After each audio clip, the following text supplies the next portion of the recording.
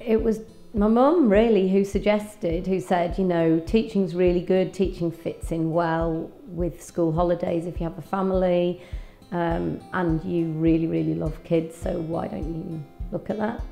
What I've always felt was that children are the centre of the education system. I would say that the education system is now failing people because it is now not child-centred. The education system is now very much Ofsted centred. So people teach now so that they will pass the Ofsted when they come in. And that means that all children now are in a sausage factory. They, whatever you whatever ingredients you start with, you're going to turn out sausages. And that isn't the way the world works, and it isn't the way that children are.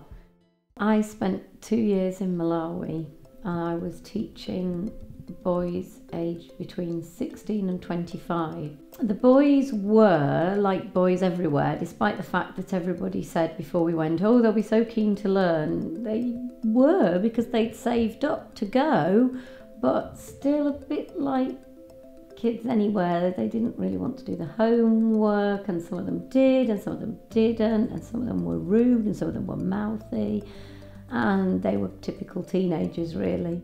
The Diary of Anne Frank is very re revealing for girls. It reveals her innermost thoughts as a girl of 14, 15.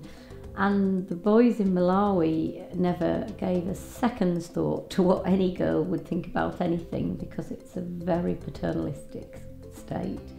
The boys asked me if she was a prostitute because of her thoughts, which made me laugh quite a lot. I did explain she wasn't and that all girls thought like that, which was quite an education for them in itself.